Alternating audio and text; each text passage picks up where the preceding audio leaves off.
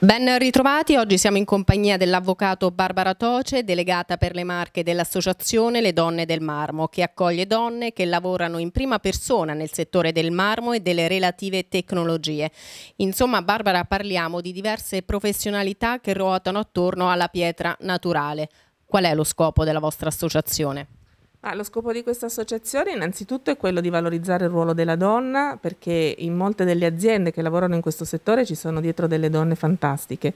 Quindi eh, si tratta di aiutare e supportare proprio la professionalità che all'interno di queste aziende a vario titolo c'è de- della donna e in questo contesto creare una rete per far sì che queste donne possano dialogare tra di loro e anche col mondo esterno e quindi creare dei, dei valori aggiunti rispetto alle loro attività. Eh, ecco appunto il ruolo della donna in questo settore che è più che mai articolato e complesso.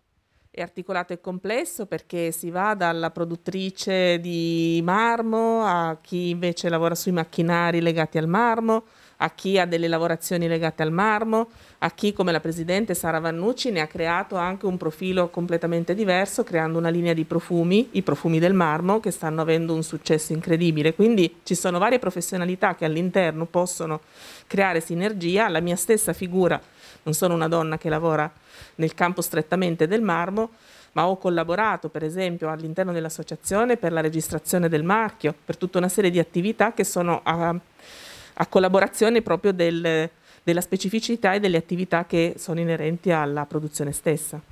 Per quanto riguarda il nostro territorio, se può ricordarci magari qualche iniziativa particolare allora, no- il nostro territorio verrà coinvolto attivamente eh, grazie anche all'interessamento del eh, dottor Contisciani, che è il presidente di, del bacino imbrifero, perché vogliamo assolutamente valorizzare il travertino piceno, quindi lavorare con le aziende del travertino e dare la possibilità a comuni come Acquasanta e Ascoli Piceno a eh, entrare un po' all'interno di questa rete di promozione eh, di questo materiale che fa parte proprio del marmo. Per chi ci sta ascoltando e magari è interessato ad entrare a far parte di questa realtà, cosa deve fare e soprattutto quali qualità deve avere?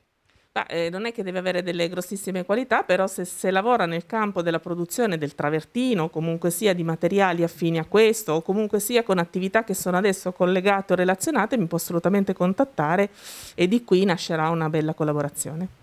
Allora Barbara, abbiamo ancora del tempo a disposizione se c'è qualcosa che vuole ancora divulgare le persone che ci stanno ascoltando. Allora, io credo che questa nostra realtà sia assolutamente poco conosciuta. Ascoli Piceno è considerata una delle più belle piazze d'Europa. Cerchiamo di valorizzarla anche dando un valore a chi produce questo materiale e cerchiamo veramente di eh, saper cogliere all'interno di questo nostro territorio tutte le specificità e le peculiarità che ci possono far conoscere al mondo. Ecco, quindi le prossime imminenti iniziative? Covid permettendo con questa iniziativa, la prima iniziativa dovrebbe proprio essere quella di una collaborazione con eh, il bacino embrifero e con le aziende del territorio. Avevamo già in mente con il comune di Acquasanta una serie di iniziative anche per aiutare e supportare i comuni terremotati. Ora eh, l'idea sarebbe quella anche di supportare, di entrare a, in relazione con il comune di Ascoli Piceno che sta lavorando per la capitale della cultura e anche per un eventuale riconoscimento UNESCO. Quindi credo che questa associazione possa anche essere di supporto e di aiuto in questo percorso. Allora, grazie a Barbara Toce, delegata per le marche dell'Associazione Le Donne del Marmo. Io vi auguro buon proseguimento su Radio Azzurra.